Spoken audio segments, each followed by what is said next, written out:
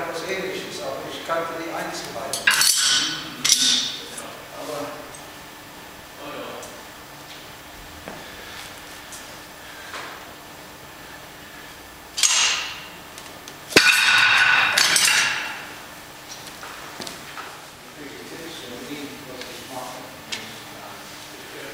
Ja, ja,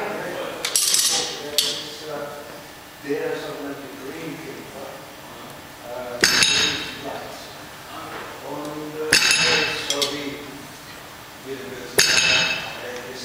Grazie, Resia.